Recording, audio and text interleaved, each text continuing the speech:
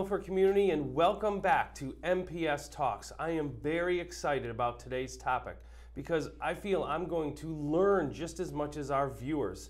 My name is Dr. Matthew Joseph, the Director of Digital Learning and Innovation, and our focus today is to build off our last topic of active learning and dig into how our English learners are being active every day in their class. I've learned a lot in my two years here in Milford from our great EL teachers and our director, Jen Norjanian. A few things I've learned is that English language learners are, com are composed and are one of the fastest growing student populations in the country. We have over 750 EL students in Milford this year and it's growing. Classrooms across the United States are becoming increasingly diverse with increasing numbers of students whose primary home language are not English.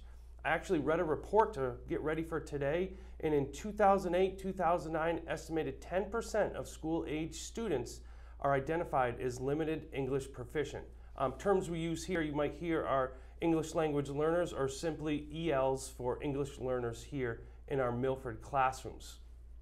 I've also learned that English learners benefit from increased exposure to print and language, um, a print uh, enriched in language will include like books and reference materials, labels and posters, student work on, on boards. Um, I know for a principal of 11 years, I know that academic language is a language that students need to succeed in school.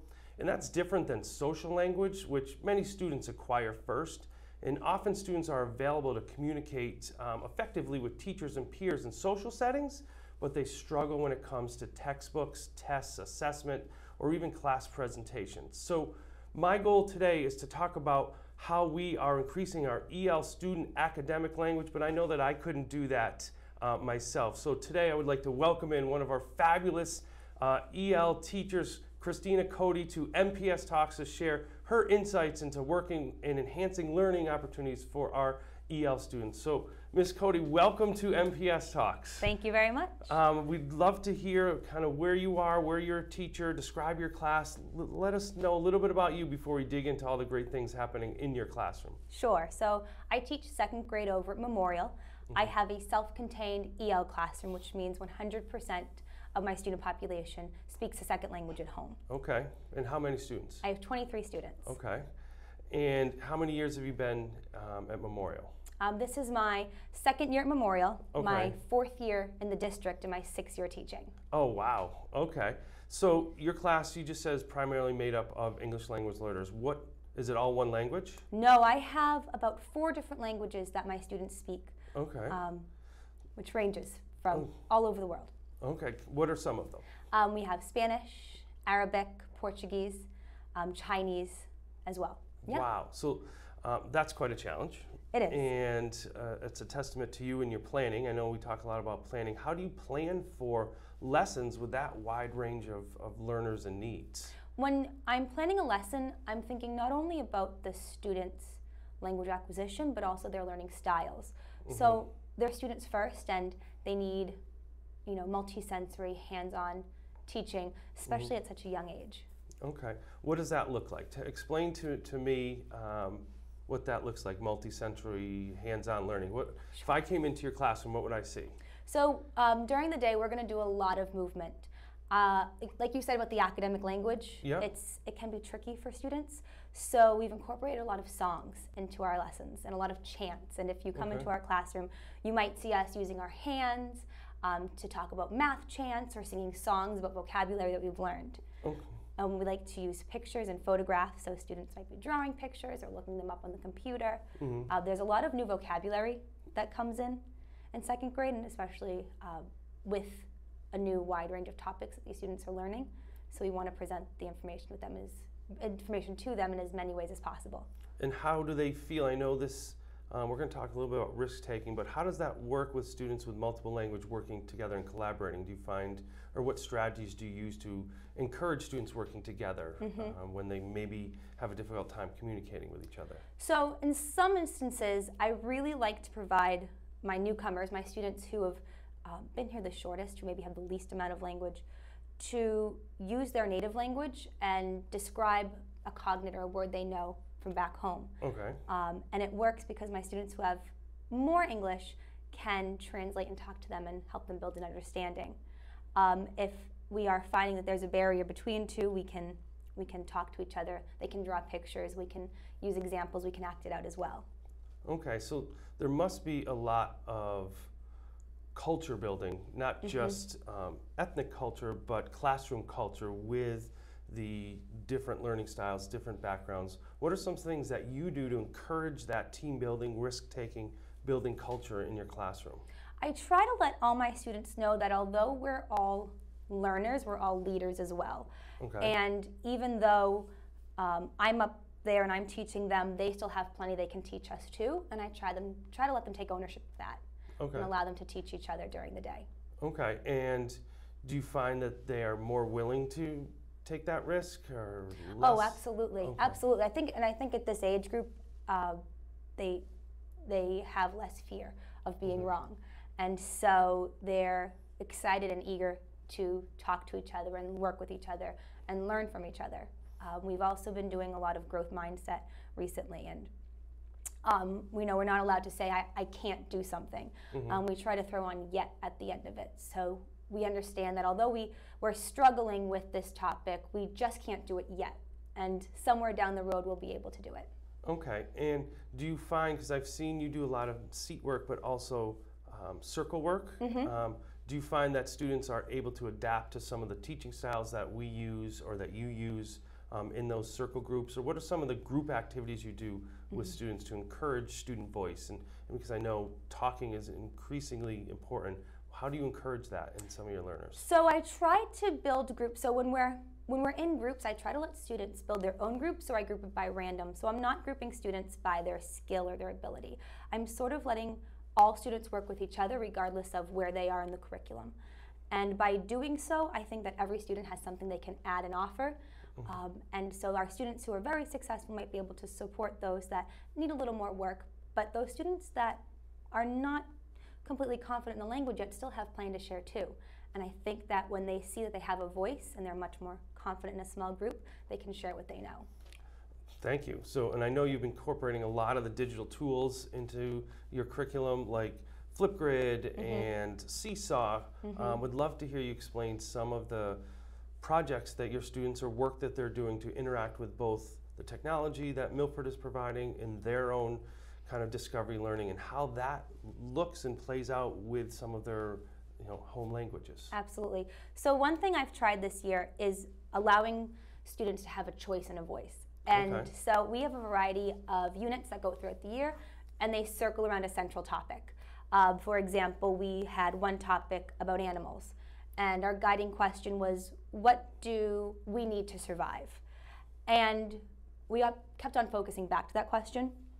And at the end of the at the end of the unit, I gave students a variety of topics or projects. So they could do a life cycle map, they could type up a report, they could draw a picture of an animal, uh, they could draw a habitat and show what people need based. They could draw a habitat of a human, compare it to a habitat of an animal. Uh, they had an option, and I- I didn't give more direction than that. And what I allowed them to do was take that and go with it. So it provided students a chance to explore what they knew and show me what they learned without being confined to this is what I want you to know. You need to write it to me in three paragraphs, it needs to be Mhm. five sentences. Because when they're learning a second language, they might be really comfortable talking or drawing a picture and talking about it than sitting down and writing me a report. Whereas some kids can put a pencil to a paper and just go. Okay. So what I like about using the technology is that with a Buncee or a Flipgrid or a Seesaw, they can each have their own personal tool, which is the Chromebook, and they can use it in whichever way best suits their needs. Okay. And do they do? Do the students do a lot of collaboration, or is it a lot of solo projects? Oh no, so we do depending on the project. Um, there is some collaboration. Okay. I have some photos, and it shows students working together on a project. And I Mhm. love, you know, sometimes you, I joke that you're going to need a, you know, you're going to need a photographer or someone to get the best angle, right? Right. So you're going to need someone to help you out. But also they can work together and share that technology too. And uh, the collaborating is huge because when some know more and some don't, they can learn from each other.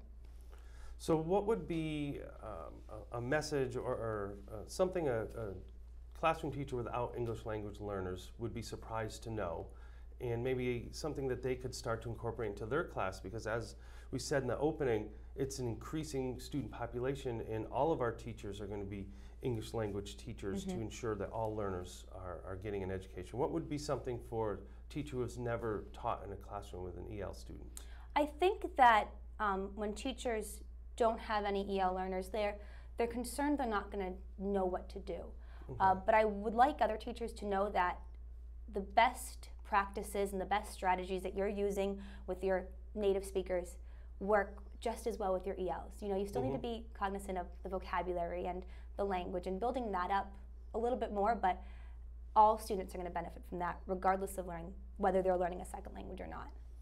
Excellent. And so your students, they don't eat in the classroom, they are matriculating throughout the school and go to different areas. What are some strategies you build into them to have that?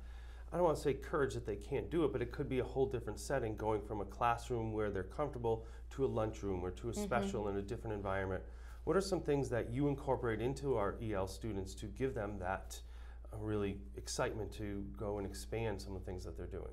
Uh, you know, when we look at the playground and I, I think of the students I look out there, the kids just go out and play, right? It doesn't matter. They don't look at someone and say, mm, you know, they're still learning English right now and they're not super proficient, so I'm not going to play with them. But they really all do a great job of allowing everyone to play with them.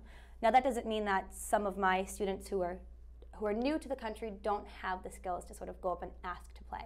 So we teach about, you know, what are some things you can do if you see someone playing soccer? Can you you can go up and say, you know, may I join you, or say, oh, can I show you something? We we try to give them the tools, the sentence frames, um, language that helps them know that they have words they can use it, and they're powerful and they can invite other people to play and join in with them. And you've seen that success happen in the playground, and your kids feel empowered to do that. Absolutely, and it goes both ways. I mean, if if there's a disagreement, you know, they need to have the words to speak up for themselves and talk about how they're feeling too. So, I've seen it be very successful. So, another piece I just want to ask about we talk a lot about homeschool communication. Mm-hmm. What are some ways that you try to bring um, other families in, especially like you said, you had at least four different language at home. Mm-hmm. Um, how do you bring all those families together for even just a discussion or a class day or something to Yep. really celebrate what you're doing? So um, I, I try. I've tried using paper-based communication, and that can be a challenge. I've recently used uh, technology such as Twitter or Class Dojo, and what I love about those programs, especially Class Dojo, is that a parent can set their native language right in their app, so they download on their phone, almost like a messaging service. Okay. And so once they set the language they prefer, everything I send to them is automatically translated in that language. So it helps close that barrier. Um, so I can still type in English, which is the only language I speak, and they can read it on their phone in Spanish. Um, by giving them all the information and the updates on what we're doing or what their student is doing independently and individually, helps sort of close that gap and bridge, like you said, that homeschool connection. And I can invite students, families into the building. Um, and I think when a student sees a parent come in, uh, it, it changes the way a student feels about school. Um, you know, it, it's, it's nice to show the teacher and parent almost like as a, as a unified front, you know, that we both support what you're doing. And although some parents work, uh, and I can share pictures of what the child is doing, the child can still go home and the parent can still have a conversation about that. So even if they're not able to be there that day, to be able to know what they're doing and talk about it and, and say, I see what you're doing, keep up the great work, it has a huge impact on the student's day and behavior and academics. Oh, that's that's excellent. So, so you're a seasoned sixth year teacher now. What would what advice would you give first year Ms. Cote to as new teachers are coming into the profession to working with English language learners? What would be some advice you would give to first year um, teachers? Uh, breathe, breathe. Remember to find time, even if you just schedule it into your day. Find a minute and just take a breath because it's going to be okay. Um, you might have planned out seven super 45 minute lessons on paper, and one of them might work, and the other six might bomb, and that's okay too. Um, seek out seek out the people who can help. There are people in your building that are mentors and don't even know it yet. Um, there are teachers that you will look up to and you can go to and, and they will share what you need.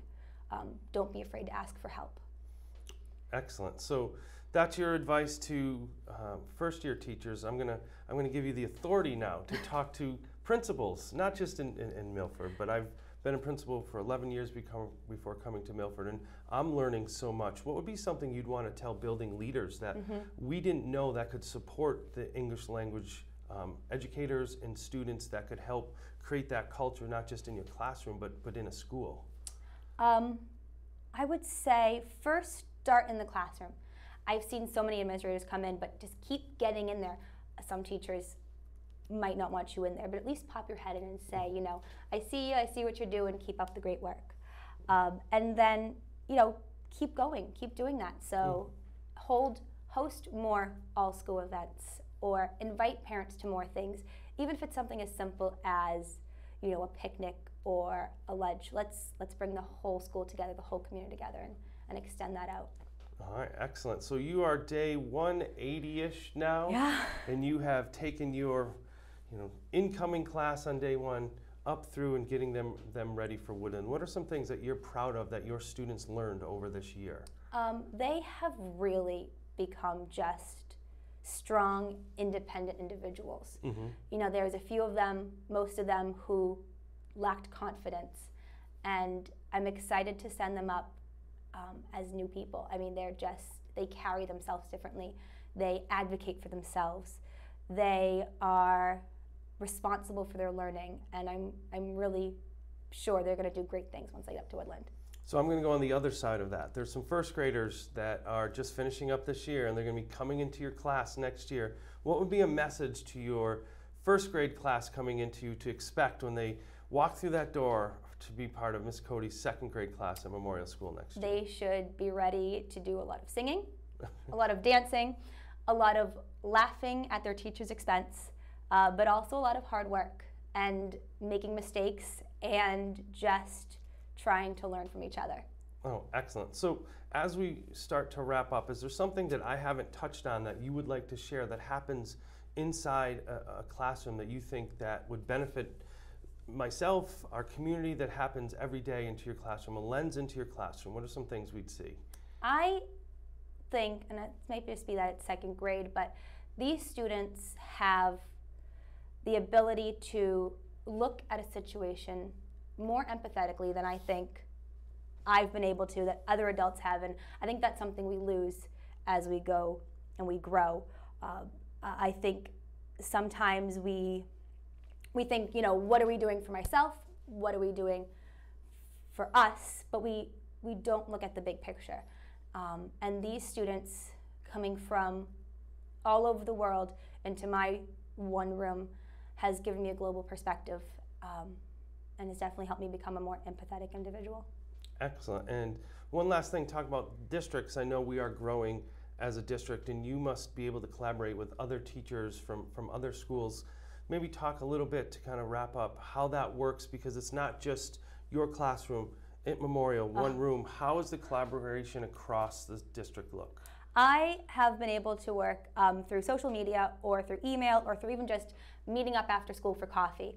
Um, I've been able to reach out and work with some amazing teachers. Uh, I was able to go into Miss Bemis' classroom over at second grade mm-hmm. in Brookside and get to meet her kids, which was awesome. I have been able to go over to Woodland and see some of my old students and see what great things they're doing. But I also get a chance to talk to those teachers who are teaching over there so I know if I'm on the right track and I'm on the right path. You know, we think about working, we want all of our students to be moving up together, uh, but we also have to think about what they need to know in the long term and am I, am I supplying them with the skills and the strategies that will make them successful down the road. Uh, but I also like, when you talk about collaboration, I was able to start um, mystery Skypes this year as well. So oh, wow. my students have collaborated with students from all over the country, um, including Denver, West Virginia, Ohio, Florida, uh, we found each other online, the other teachers, and my students play almost like a game, so they guess where we're from using yes okay. or no questions. But at the end of it, we talk about, you know, what our classroom's like, how are our days the same, how are they different, and I think that collaboration for them at that age is huge too. Awesome. Well, thank you so much for coming in. Uh, it was great 20 minutes. I know I learned I, I learned a lot. So I do want to thank uh, Miss Cote for coming in and taking the time. Um, I know I learned a lot. I hope that that you did as well. Uh, well, this time together in, in my time through the last two years, I have learned a lot about our ELs and our learning, both con- English concepts and through other social concepts simultaneously. And all educators need to view themselves as language teachers. Um, a few other things that I took away from today and for, for the last two years is know your students. Increasing your understanding of who your students are and their backgrounds and educational experiences is going to benefit you. And be aware of their social and emotional needs. Uh, Ms. Cote talked about that, about being on the playground and understanding more about students' families and their needs is key to building that collaboration and community in your classroom. Um, another thing that I hear every day in when I either collaborate with Ms. Norjanian or speaking with other teachers is that students need to speak, write, read, and listen every day in class. So using that authentic visuals and manipulatives will increase that. And I would encourage you to implement use authentic resources for examples like menus or bus schedules or postcards, photographs, video clips we were talking about. This can enhance students' comprehension of other concepts as well when they're learning other languages. And, and finally, collaborate. We just heard about the collaborations. Collaborate, seek support from other teachers um, who may teach English language learners or other subjects or other educators, novice teachers, veteran teachers. They all have suggestions or even resources to support English language development and content concepts and working together. So we heard about that collaboration. We heard about um, increasing that speaking vocabulary. And I know I took a lot away from today. I'm thrilled in the last two years as well. And I want to thank Miss Cote and Miss Norjani for all she does. Miss Cote's knowledge today, I learned a great deal, and I hope you did as well, Milford community. Keep tuning in and keep learning all the great things we have going on here in Milford Public Schools.